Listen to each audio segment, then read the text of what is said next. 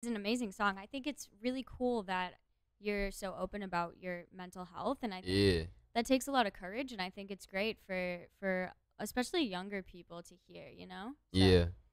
Great yeah, job. That, that's the goal. I try to, you know, get it out, and talk about it.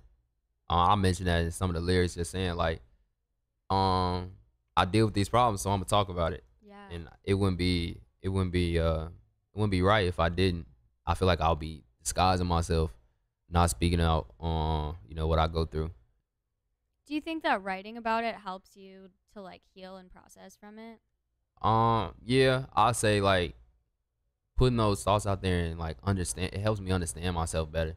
Yeah. Cause sometimes when I'm feeling something or going through something, I might not exactly.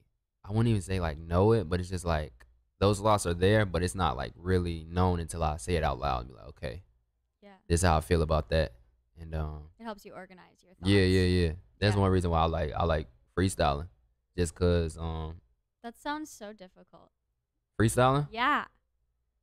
I used to be scared to do it at first, like be doing it in the studio. I used to always do it with my with my homie, like in the car. We would be freestyling. That's how I did my first song. But Really? yeah, like I said something catchy, and then I was like, okay, what I said, and so we had to go back. I I remember exactly what I said, no emotion, and um, yeah, I did that with my first track. But like, I never want to do it when I got into the studio, and basically, like every time I used to get in the studio, I used to pay somebody, and so I only had like an hour, two hours. So I'd be like, I can't freestyle. No. I need to know these lyrics, yeah. have them down packed.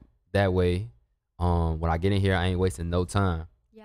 And so um once I started like getting better with freestyling, then I'd be like, okay, we gon' we gonna do a little trial run with these last 30 minutes. If I if I finish this track, I'll finish it. And if I don't, oh well.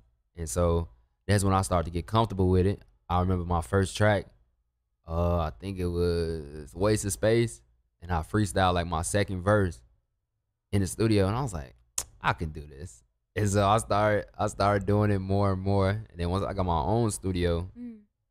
I just I I don't think I ever like sat down and wrote Mm. since then. Really? Yeah. You just freestyle? Yeah.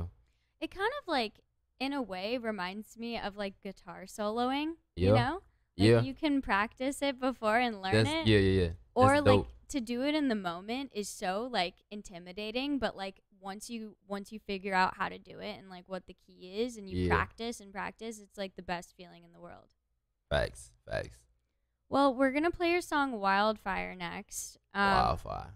give us Yeah. a story behind this one Um, man, honestly, I think I was just at the crib. I, I thought of, I said like wildflower. I was like, that's that's dope. I could like I could make a song about that. And I was just sitting there. I was like, I walked through the wildfire. And then I was just like, I was, I was like, okay, that's catchy. That's catchy. And then I just kept saying it. I'm like, let me find a beat. And I found a beat. I pulled it up. I think it was the first one that I grabbed. Then I just kept saying it. And I was like, yeah, I'm finna make it hit. And so I, I did. I laid it down, and then I came up with a whole bunch of other catchy stuff. And I had no idea what it meant.